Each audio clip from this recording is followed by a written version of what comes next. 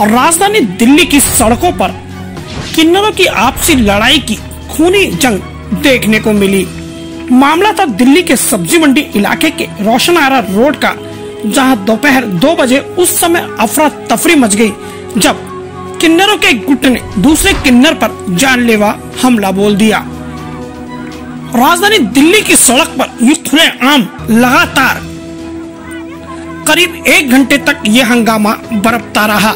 और इसी दौरान एक किन्नर के पिटाई की वजह से कपड़े भी उतर गए और उसे नगन अवस्था में दिल्ली की सड़कों पर दौड़ा दौड़ा कर बेल्टों से और लात घूसों से पीटते रहे।